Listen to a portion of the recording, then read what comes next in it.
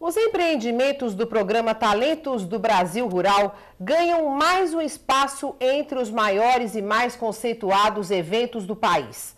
Após participação no Salão do Turismo, agora é a vez de mostrar alimentos, bebidas, cosméticos para hotelaria e artesanato em uma das cinco maiores fe feiras do mundo de hotelaria e gastronomia, a Equipotel 2011, que termina hoje em São Paulo. A repórter Ana Gabriela conversou com o diretor do Departamento de Geração de Renda e Agregação de Valor do Ministério do Desenvolvimento Agrário.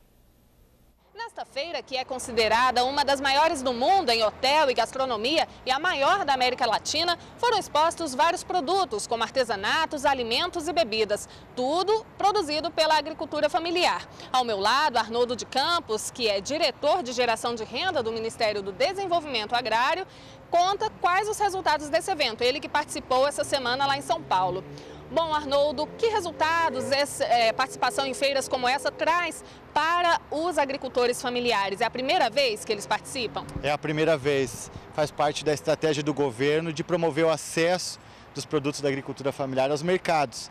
Nós estamos explorando as oportunidades que o turismo brasileiro oferece para os produtos da agricultura familiar, que são produtos típicos das regiões, produtos que são da nossa biodiversidade, produzidos por comunidades tradicionais, agricultores familiares, que estão sendo oferecidos para chefes de cozinha, para gerentes de alimentos e bebidas, para aqueles que querem decorar o hotel com o artesanato brasileiro, com a cultura brasileira. Uhum. Iniciativas como essa têm dado certo, têm é, tido várias encomendas. Quais foram os principais resultados?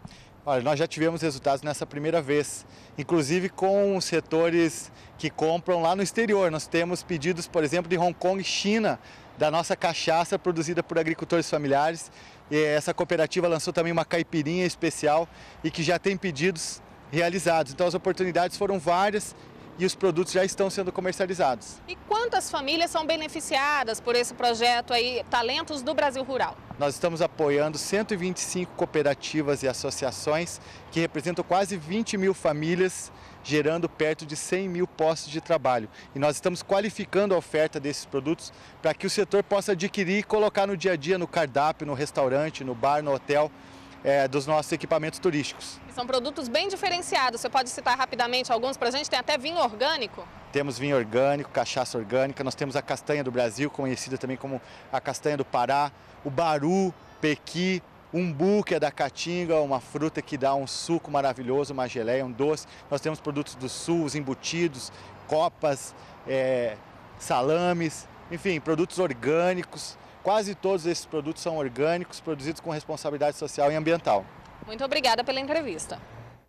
O projeto Talentos do Brasil Rural quer qualificar ou tornar mais atraente para os turistas os produtos da agricultura familiar de olho em eventos como a Copa do Mundo de 2014.